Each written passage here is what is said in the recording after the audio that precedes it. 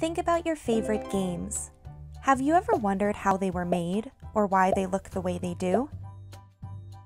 There are a lot of steps and different jobs involved in creating a game.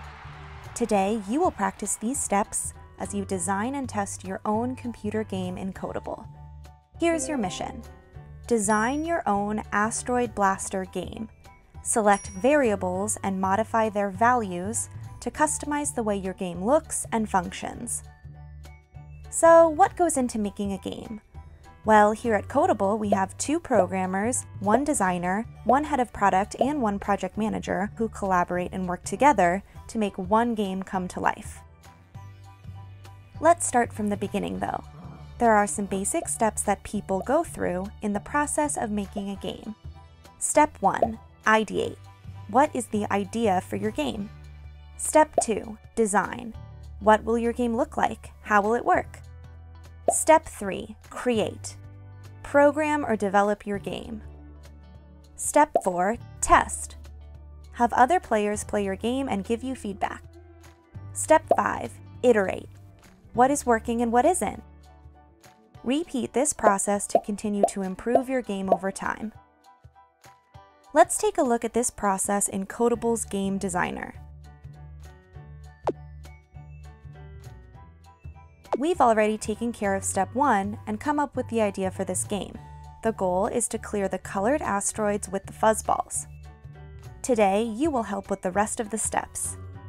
Here's what you'll do. Open the game settings code and take a look at the variables that you can add or change here at the bottom. If you decide to add the game background variable, then you can choose the value. For example, I can make the value stars or galaxy and change the way my game's background looks for a player.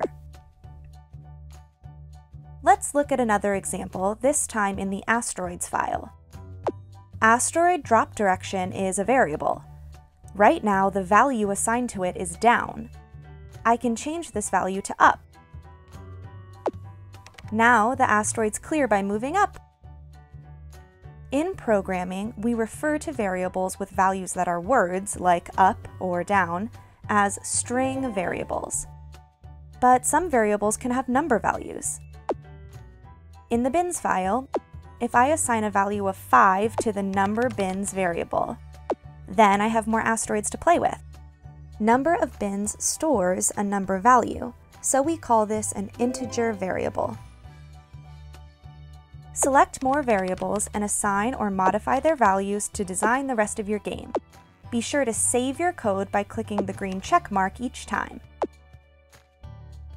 You did it! When you are done, test it out.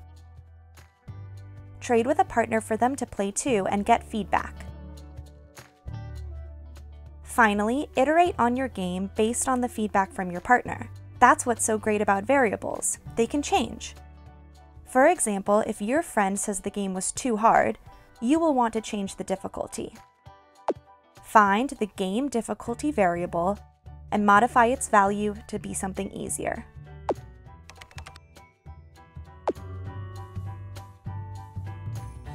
Don't forget, building a game takes a lot of testing and improvements. Just look at how Kodable has changed over the years. And we're not done yet. Now it's your turn open Game Designer, create a game, and complete your mission. Remember, you are looking to design your own Asteroid Blaster game. You will select variables and modify their values to customize the way your game looks and functions. Good luck!